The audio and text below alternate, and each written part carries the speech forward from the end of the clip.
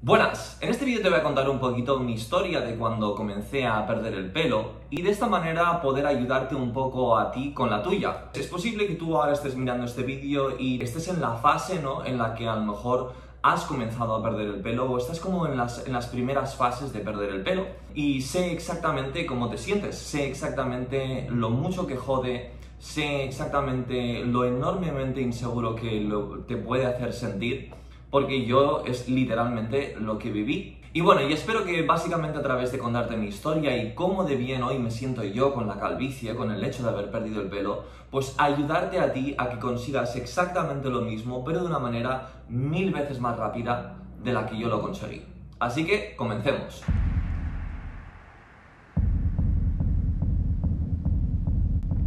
La historia comienza más o menos en el año 2003-2004, creo que tenía 21 años.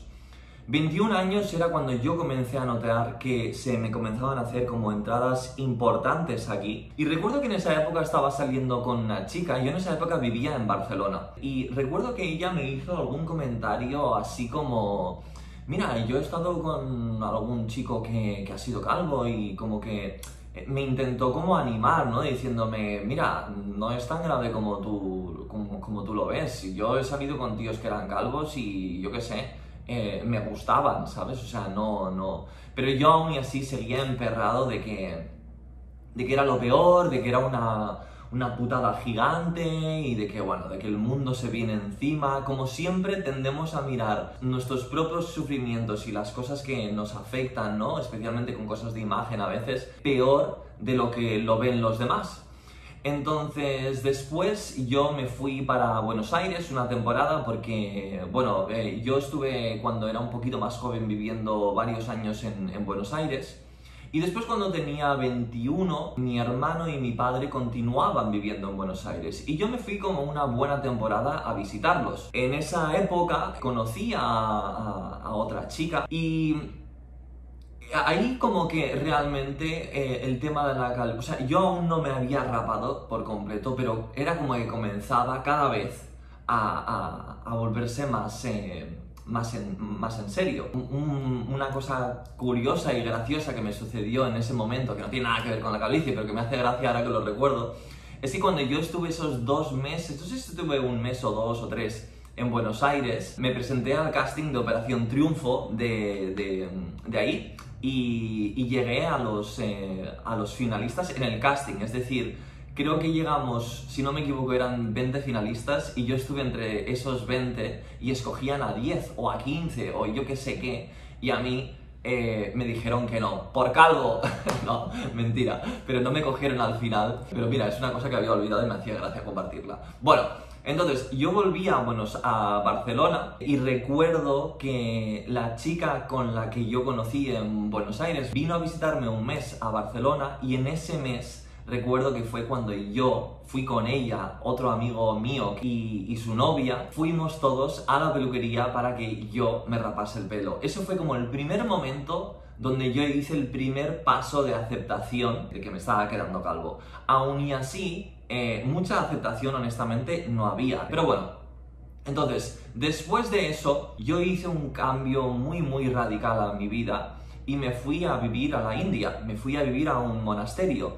sé que suena un poco raro y si nunca has visto ningún vídeo mío o si no has visto ese vídeo que yo tengo que se llama Viví 7 años en un monasterio donde lo explico todo un poco con, más profundidad, pero un poco para que, para si no me conoces, para que tenga un poquito de, lógica, ¿no? Y, se entienda un poco por qué yo me fui al monasterio. Yo ya hacía como dos o tres años en el que estaba pues enormemente metido en el crecimiento personal, en mejorarme como persona y como que me lo tomé bastante en serio esto de mejorar yo como persona. Y eventualmente, pues me, me, fui metiendo un poco en la espiritualidad, nada de religión y todas estas cosas, pero me fui metiendo en la espiritualidad y leí un libro de un tío que, me impactó, que me dio en el nervio profundamente y la historia de este tío norteamericano había sido que con 22, 23 años se había ido a la India porque quería conocer como maestros en India, conocer un poco la espiritualidad de ahí y tal. Y, bueno, me sentí enormemente identificado y quise probar la misma experiencia. Y cuando me fui a la India, pues me sentí enormemente bien, experimenté un montón de crecimiento interior y bueno, ese es un motivo por el cual yo estuve eh, muchos años viviendo en el monasterio. Pero volviendo a la calvicie, el caso es que el hecho de yo haberme ido a la India y estar viviendo en un monasterio, el tema de mi imagen, pues dejó de tener absolutamente ninguna importancia. No es que yo no me arreglase y tal, pero básicamente, pues el hecho de que yo había perdido el pelo no desapareció, desapareció cualquier inseguridad de cualquier cosa, tal y cual. Pero volvió a aparecer, aparecer más tarde, no es que yo mm, que desapareció y ya, volvió a aparecer más tarde después, al cabo de varios años, cuando yo salí del monasterio, que ya salí casi con 30 años, es decir, yo entré con 23 y estuve viviendo de esa manera hasta casi los 29 o algo así, más o menos. Entonces, cuando yo me fui de ese modo de vida, yo volví a Barcelona. Y recuerdo que estuve unos meses viviendo en Barcelona, no sé si seis meses o algo así, en el que me acerqué un montón a chicas y no me cubría la cabeza. Es decir, yo recuerdo que pensé, que no iba a tener éxito con las chicas, que el hecho de yo ser calvo me iba a afectar enormemente y a mi sorpresa eh, no fue así. Es más, tuve un éxito bastante rotundo que en parte tuvo mucho que ver con que yo pues jugué lo que yo llamo a los números muy agresivamente, es decir, yo me acercaba a un montonazo de chicas porque entiendo que cuando juegas a los números agresivamente pues aumenta un montón tus probabilidades de, éxito. Bien, pues eh, tuve bastante éxito. Dicho esto, en esa época yo vivía en Barcelona, pues era cuando había esa recesión mundial que sucedió en el 2008 más o menos. Y en España se comenzó a sentir bastante fuerte.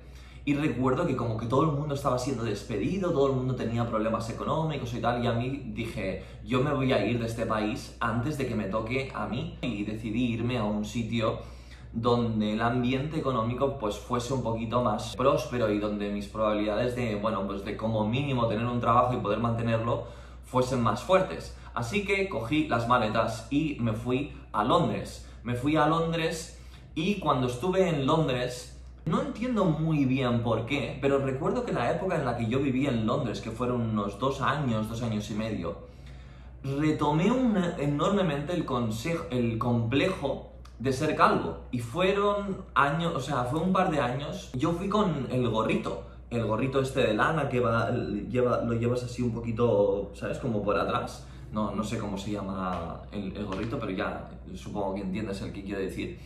Y estuve yendo con el gorrito un montón. Recuerdo que el tema de la calvicie, lo normal es que pasas por el, eh, la fase de, de estar acomplejado y tapártelo y escondértelo bien al principio pero por todo lo que me fue sucediendo en la vida de haber ido al monasterio, esto, lo otro, tal, no sé qué, es como que yo eso no lo viví, pero sí lo viví prácticamente casi 7, 8, 9 años más tarde, que fue cuando estuve ahí en Londres.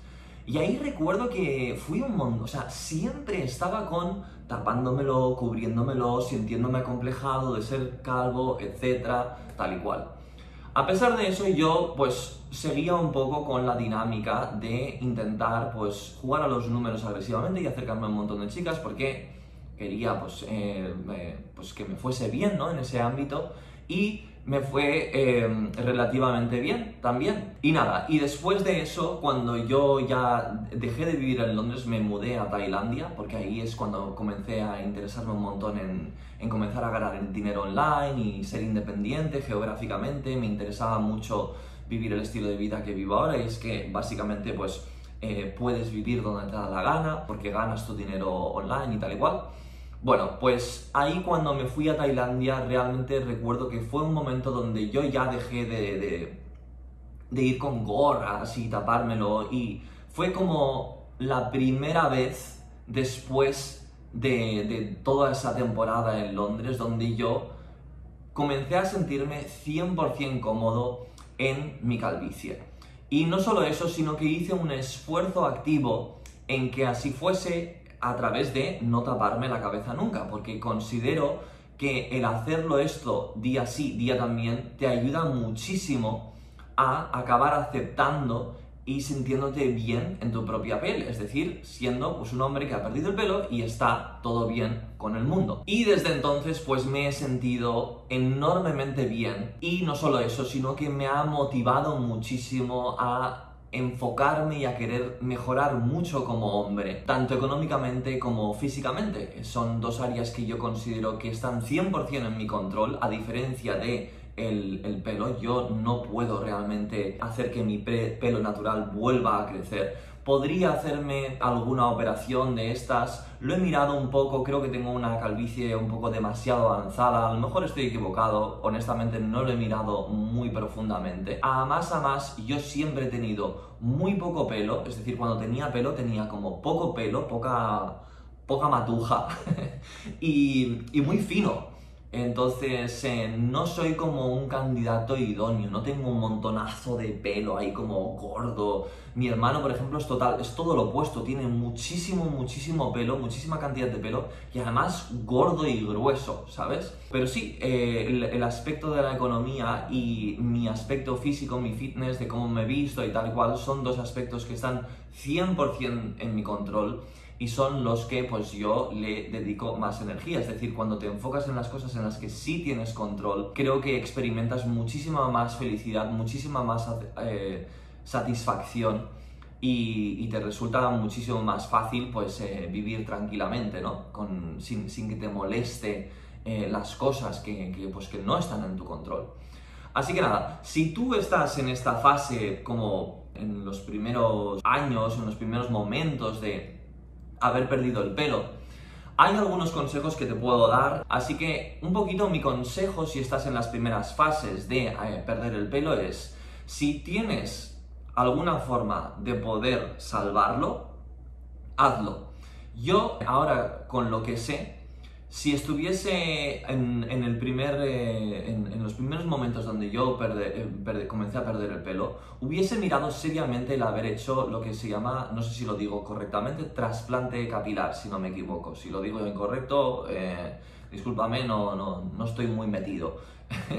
Em, lo hubiese mirado, lo hubiese mirado porque mm, yo he visto como antes y después de muchísima gente que ha comenzado y que está como en las primeras fases y le cogen un poco de pelo, tal, no sé qué, y, bueno, eh, he visto resultados auténticamente espectaculares. Eh, que, que, se me ha abierto la boca y he dicho, wow, tío, es que realmente han quedado como nuevos.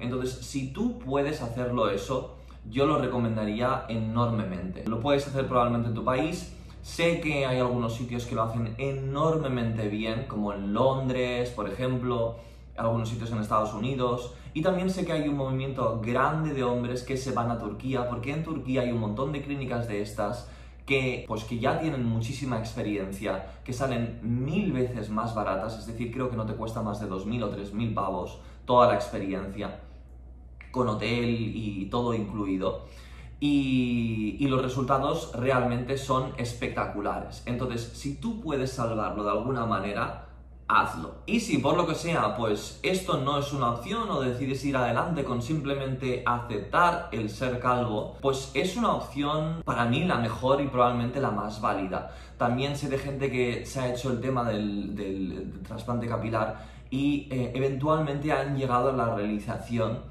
de que lo mejor era simplemente aceptar que, bueno, pues que habían perdido el pelo y que, y que, ya está. Desde luego, no todos los casos son así, pero he leído varias eh, experiencias de hombres que, después de haberse hecho el proceso, simplemente han llegado a la conclusión de que simplemente lo mejor era, pues, abrazarse una realidad. Y si esto es el paso que, que vas a seguir, pues, te lo recomiendo gratamente. A veces estamos enormemente apegados a muchísimas cosas y entre ellas es evidente que el apego que tenemos a nuestro pelo es grande. Eh, ha sido parte de nuestra identidad, de nuestro físico durante un montón de años y perderlo eh, es como que te arrancan una parte del cuerpo y, y encima una parte importante porque tu aspecto cambia enormemente cuando pierdes el pelo. Entonces, el proceso de aceptarlo yo creo que es un proceso enormemente recomendable, el, que te va a costar un poquito de esfuerzo al principio, pero cuanto más tiempo va pasando y cuanto más mayor te vas haciendo, más fácil es. especialmente también con este otro consejo que te voy a dar, que lo repito muchísimo en mis vídeos, de enfócate en tus finanzas y enfócate en tu fitness, porque son dos áreas que están 100% en tu, control y van a tener un efecto considerable en elevar tu atractivo enormemente. Es decir, no es lo mismo un hombre calvo con un cuerpo feo que un hombre calvo que cuando se saca la ropa se ve bien, se ve bonito. Entonces, eso es algo que está totalmente en tu control. De la misma manera, si tú aprendes a vestirte y a, maximizar, a maximizarte con la vestimenta, vas a incrementar tu atractivo también. Esta es otra área que está 100% en tu control. Y por último, el aumentar tu economía es una, es una área que eh, primero te va a ayudar en la vida enormemente, porque la vida honestamente es más fácil con más dinero y hay más felicidad en general cuando tienes dinero. Aparte de eso, tú con siendo un hombre con dinero, es decir, si tú eres un hombre rico, tu valor en el mercado se eleva. El otro día vi un, videoclip de Marilyn Monroe que explicaba esto de una manera bastante, bastante interesante. Y salía ella con un hombre o dos o tres, así como, no sé si era como una cena o algo así. Y salía ella diciendo de que un hombre rico era como una mujer que está buena.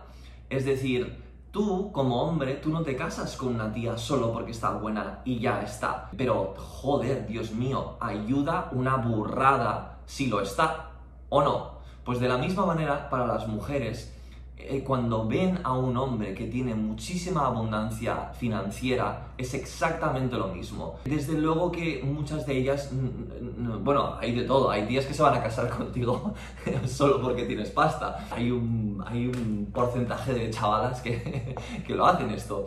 Pero en general, muchas chicas no se van a juntar contigo solo porque tienes dinero, pero madre mía, tío, si ayuda, ayuda una burrada, porque toda la experiencia que, que una chica tiene contigo cuando sale contigo, cuando es tu novia, cuando se cuesta contigo, cuando, yo qué sé, si decides casarte con ella, cuando te casas con ella o lo que sea, aunque no lo recomiendo, pero toda la experiencia que una chica tiene contigo está enormemente elevada si tú eres un tío que, que, pues, que tiene pasta por el tipo de sitios a los que vas a, ella va a estar contigo, a los tipos de sitios a los que puedes llevar, el tipo de experiencias que tú le puedes proporcionar.